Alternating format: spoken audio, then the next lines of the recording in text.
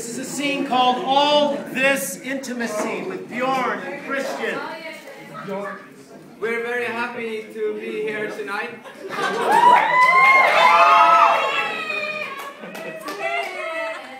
Okay. Björn, you jackass. Actors relax. Camera's rolling. Come inside.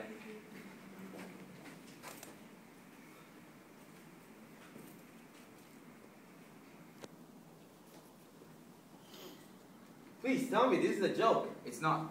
You're shitting me. I know you're shitting me. No, sir, I'm telling you. Okay, okay. Jen and the neighbor, the neighbor you were, you were. Yeah, Maureen. How old is she? She's 42. 42? She's 42 years old. Yes, okay? No, Ty, this is not happening. One girl, one girl, Jen. No, sir, three girls. Three girls. No. Yes. Jesus. I know. Fuck! That's what I'm saying. I don't understand how can this happen. But I don't know. I, I don't know. This is messed up. So what am I gonna do, huh? And who else? You said three? Who's the third? Who's the third girl? You don't know her. Well, who is she? Well, you don't know. Why does it matter to you? I'm in serious shit. Some random girl? Who? Ty, who is it? I need you to not freak out on me. okay? Who's the third? Who's the third fucking girl? Well, she's a girl from, from work. Your student. No, Seth. Your student. Seth, calm down. will? How old? Seth. How old? 18. Hey, stop it. 18, 42, 30? Well, Jen's 28. Whatever. Listen, Seth. Wait, can you please just tell me you had sex with three different women one week? No, it wasn't in the same week. It was like a nine day period. That's dirty. That's extremely dirty. But it just happened, okay? What were you thinking? Can you tell me that? What were you thinking? How does a condom not work? Well, how does a condom ever work is a better question, don't you think? I mean, it's made of latex, shouldn't it rip? We rub it and roll it and, and squeeze it and pinch it and slap it around it and, and, and it's supposed to protect us. and, and you know, it's supposed to be thin, you know, thin so we can feel through it, so we can pretend it's not there.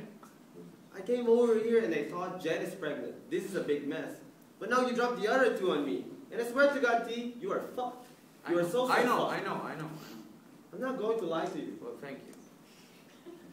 Look, are you 100% certain with each one? What do you mean? A, do they know for sure they're pregnant? B, are they absolutely certain you are the father? Well, I'm pretty sure, yeah. We're pretty sure it's not 100%. Well, I'm pretty sure, okay? I'm, I'm sure, Seth. I'm 100% sure. Let me tell you something, man. Franny. Franny's out of her mind. I know that. She's frauding at the mouth. She will have your head, man. And guess who's getting every brunt of it every moment of every day? You are. I am. I am getting raked over the coals because you knocked up her big sister. And she's one pissed off bride to be right now. Well, what do you want me to say, Seth? Franny's annoying to you? Franny's your problem, and your problem is a lot smaller than my problems. Franny's annoying to you? Guess what, Seth? News flash. Franny is an annoying little cunt. And she was born that way. And I say this with all due respect, okay? No offense. Good, so I can care less how mad Franny is, okay? She wants my head. Tell her to come and fucking take it.